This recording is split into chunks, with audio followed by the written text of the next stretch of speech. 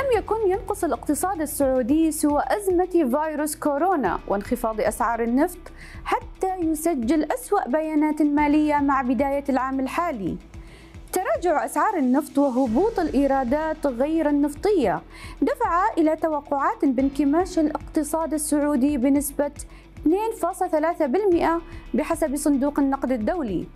توقعات سلبية دفعت الحكومة السعودية إلى اتخاذ إجراءات قاسية وطرح خطة تقشف تطال المواطنين والمقيمين على حد سواء.